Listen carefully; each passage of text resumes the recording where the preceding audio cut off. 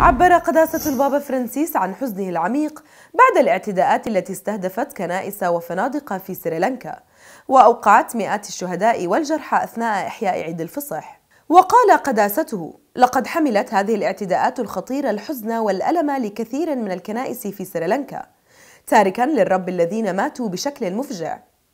وأصلي من أجل الجرحى وكل الذين يعانون بسبب هذا الحدث المأساوي.